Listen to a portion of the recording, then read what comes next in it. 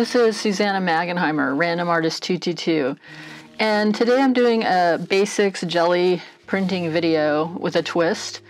Um, what inspired this video was this one that you see down here with the uh, stencil from the Crafters Workshop.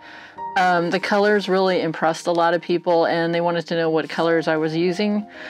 Um, so I'm going to twist up the colors a little bit in my demonstration, but I will tell you that these colors were um, Master's Touch acrylic um, in flesh um, and in antique gold.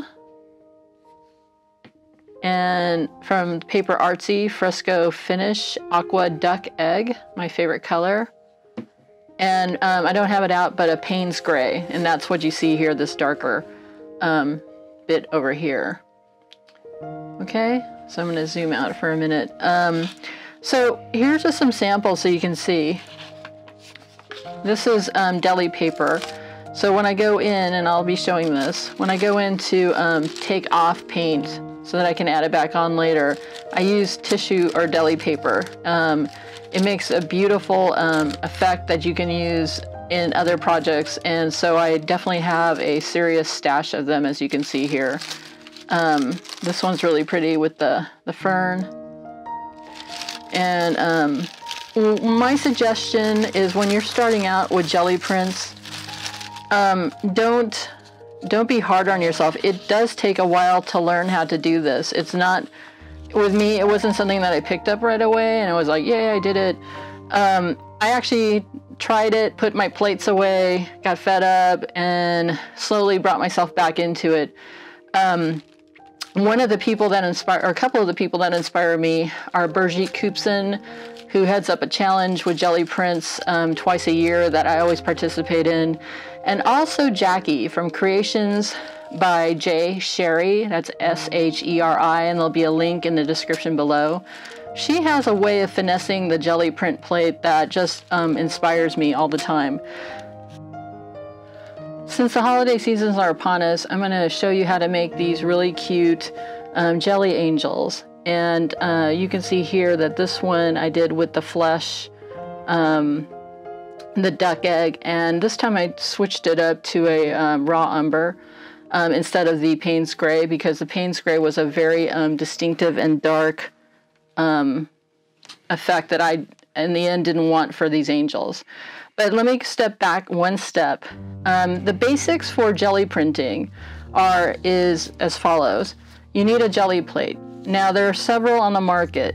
My best suggestion is to test drive. They all of them, all of them sell these um, little three by fives and even smaller, smaller versions that you can try and see what you like. The reason I say that is because some plates are very like this one, very stiff. Other plates are thicker and they they're more bendy. Um, the bendier ones for me personally aren't as successful as the stiffer ones because um, I think it's the amount of pressure I put on it or just the way I manage a plate. Um, these seem to work better for me. But again, it's up to you. Try them out, see what they're like, because all of them have their pros and cons, but the stiffer ones for me have been more successful. Um, you'll need printer paper cut to, and this is a 5 by 7 plate, and so that you have them ready to start going. Because once you start putting the paint down, you want to move. Um, and then also, you want to have your tissue paper, paper, like I said, so that you can pick up the backgrounds. You need um, stencils, and in this case, my angel stencils that you see here are from Retro Cafe Art.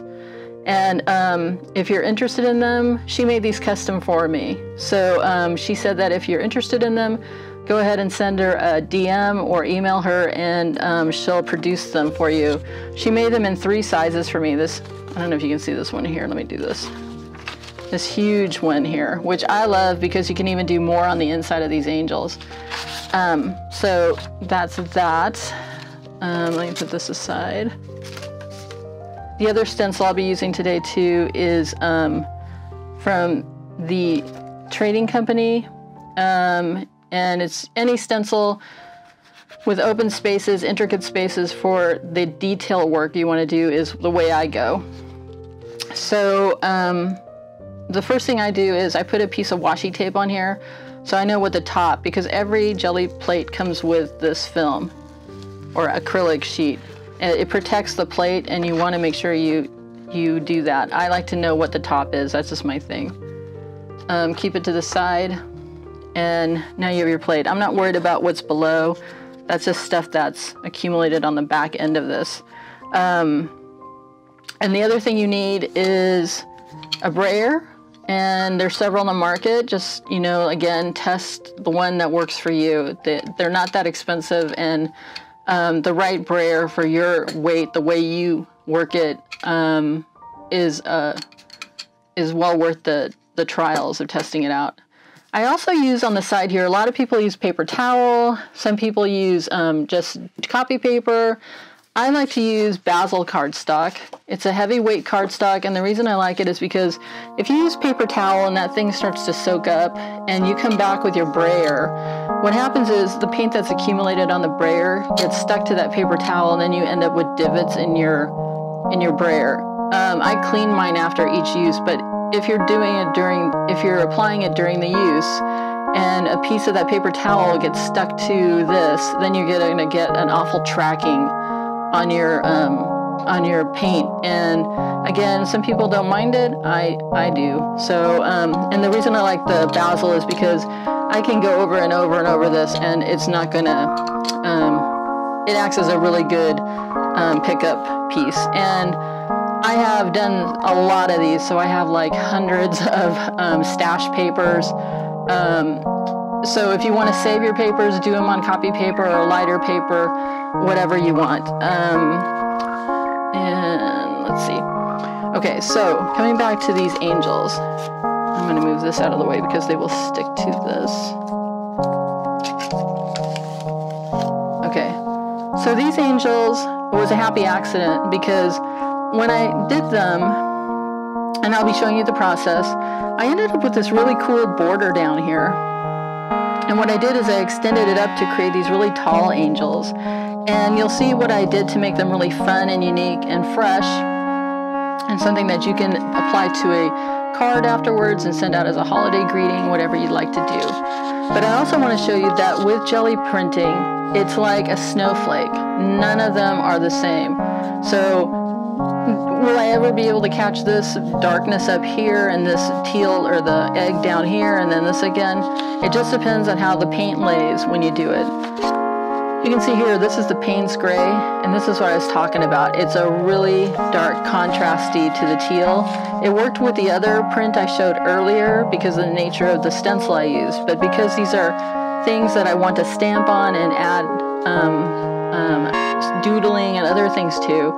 I wanted something that wasn't so stark. And again, here's another version.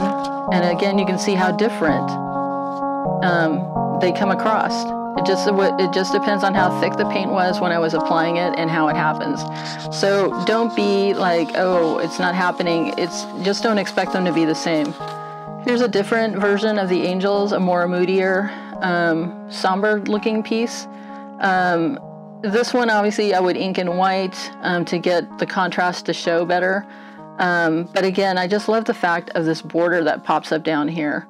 Um, let's see. And then this is also something I will show you.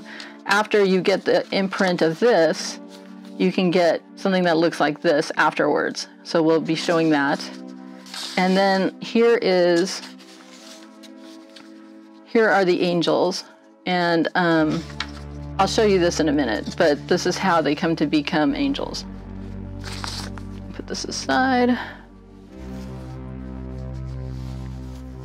Okay. So in this case, I'm going to be using first the aqua duck egg and the raw umber from Lukas. And this is from Paper Artsy. And the first rule of Gelli printing is, and that's Gelli printing, I'm not saying deli, but Gelli printing is not a lot of paint. No matter, every time I think I've don't have, I have too much, or I don't have enough, I end up putting too much. So again, it depends on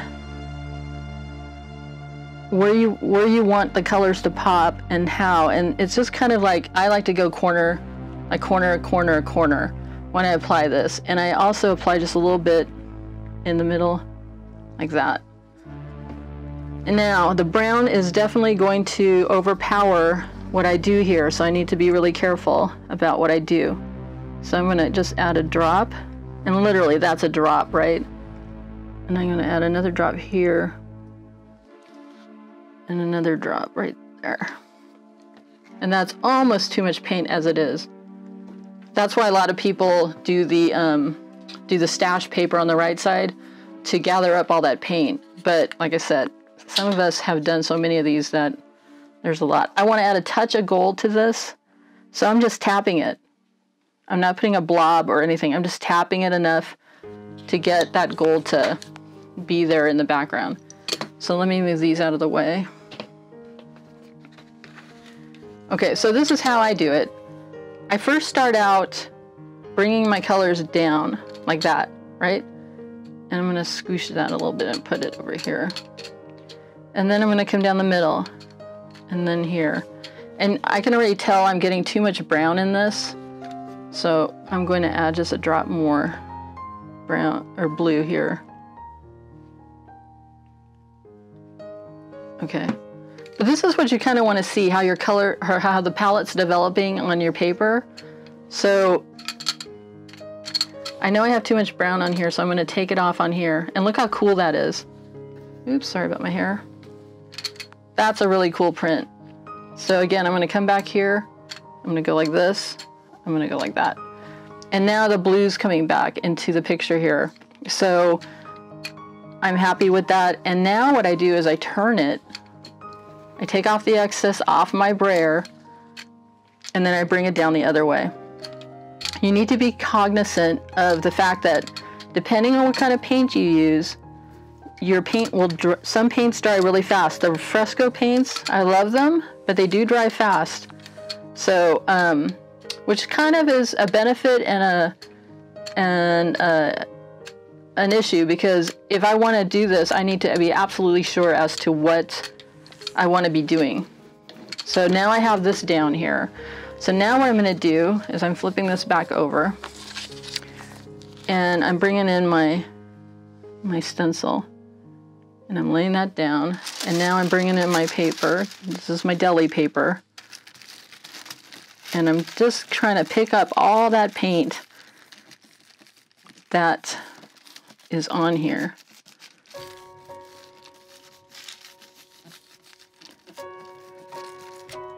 Know, pick it up if you have to and look a little bit. Yeah, I see that it's all coming off. Okay. If your plate is too juicy and there's too much paint, when you lift this off, you'll know because it won't look good at all. Now I'm to bring the stencil down to here and continue with my deli paper and pick it up. Now I'm using the light from my window to see let me see if I can get the camera in here where I want it. Do you see how the lines here are pretty um, distinct? You can see them, right? That's what you want. If you notice that there's too much paint, you'll notice this all this paint in between and you won't have that distinction of the stencil and you know you're going to end up with too juicy a plate and your effect will not be as dramatic. Okay. And now you end up with this beautiful Look at that, isn't that beautiful? Deli paper. Yeah. Okay. And pull that off. Okay. All right. So I'm to bring it back this way. And now what I'm going to do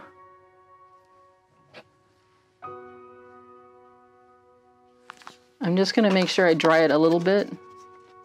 I don't want to dry it a lot because then it's hard to pick up the print again. But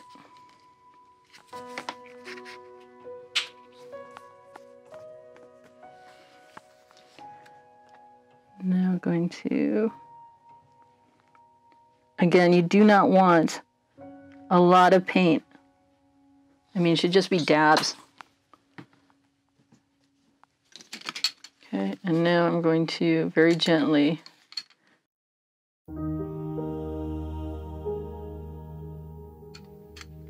You know, okay, so you notice this time I didn't dab a lot over here because this is a really thin coat, so I didn't have to worry about that. So now I'm gonna bring this in. I can see the stencil behind, and I want that border to show up. So I'm gonna stick this down, and I'm gonna bring this in. And starting from the outside in, especially this border, I'm gonna start putting a lot of pressure to get that up. Because I'm putting more pressure than normal because I'm using a fresco paint which dries fast and I want to be able to pick that up. The um, flesh, the orange color that I put on there, the light orange, is um, reconstituting those colors below even though they dried. Um, and if you do it right, yeah,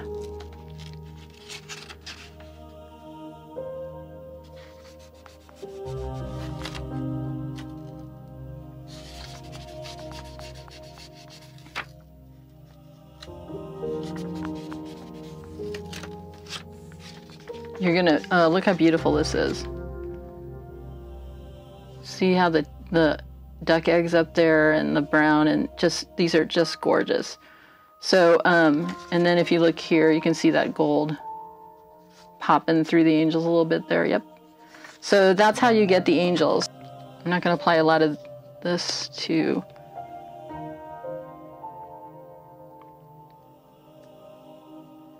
Again, I'm using the three point idea and I'm using four paints here and they're all from Paper Artsy. They just came out with this. You have Iceberg, Blue Jeans, Blue Smoke, and Wolf Eye. And the reason that I'm in love with these are, is the reason I'm sharing this with you right now. Again, I'm gonna do a three point. Now the other way.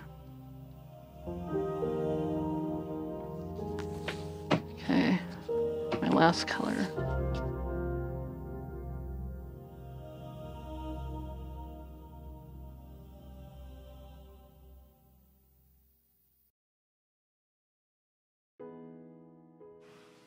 Okay, so I'm saving my blue jeans for the, um, the final color that I'll pick up everything with. So now that I got all these three colors on here, I'm going to do the same thing. I'm going back and forth, kind of seeing how my colors lay out. And I'm really happy with that. I can see the variegation of the colors. So now I'm gonna turn the plate. And again, super happy with the way that's looking. Take off some of the excess. Okay, so I'm gonna bring back my angels. And I'm not doing a pattern behind it this time. I just wanna show you guys something with these four colors.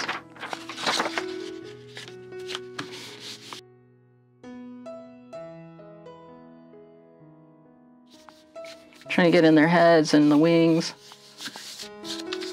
especially the bottom.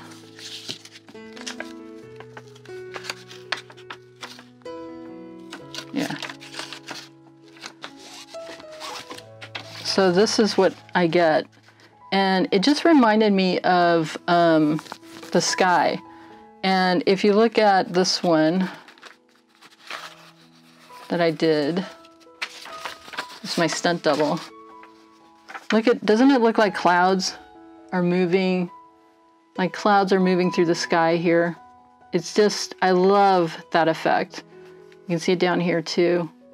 It's just like clouds are going through it. Um, so those are the colors I use to create that effect of the clouds. Um, so I'm going to go ahead and clean this and I'll be right back. Okay, so this is kind of the evolution of the angels now. Um, this one, like I said, what I did is I carried my line, and I usually like to do this in the comfort of my um, of my sofa because I have a little bit of a shaky hand. But I carry that down, as you can see here, right? Um, and then I like to outline my angel, so I'm not too concerned about being precious and perfect about the line. So I'm just going to come back even a second time and I'm going to make it like some funky sewing hack job on the side.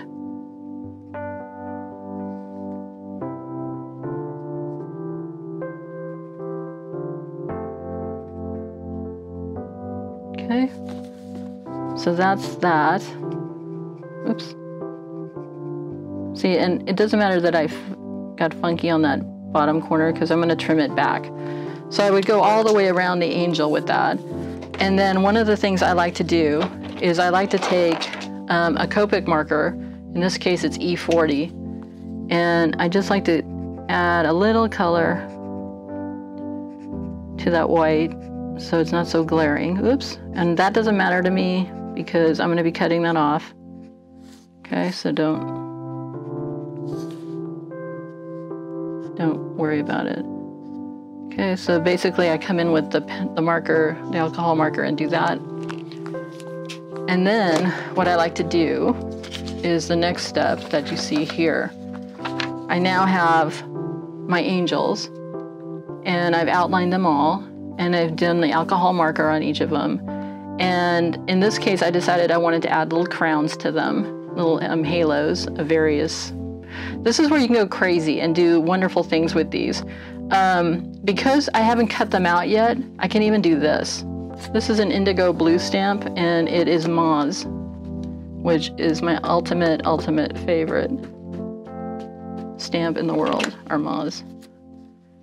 And I probably should be using a better background holder, but what you can do is that's a first impression, right?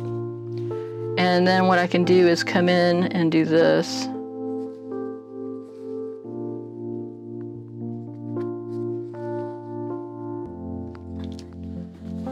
And now when I cut her out, she's gonna have these little moths floating around in her. Um, could do it in blue ink as well, um, or I can highlight these now with blue ink and make them look really cute. Um, the other thing I like to do with these is I like to put a little affirmation at the bottom. So I'm just taking just a little word. In this case, hope. And the last thing that I didn't show you that I did, and I'm to zoom in here so you can see it. Do you see these teeny tiny snowflakes? I mean, we're literally looking at an inch here, okay? And these teeny tiny little baubles. I'm going to go in even closer. Um, these are the smallest stamps you'll ever see, and they are so detailed. And they are from Rubber Stamp Tapestry. I'm going to come back out for a minute. And I'll just show you. This one's called um, Snowstorm. And I've mixed up my peg stamps, so, but these are all like,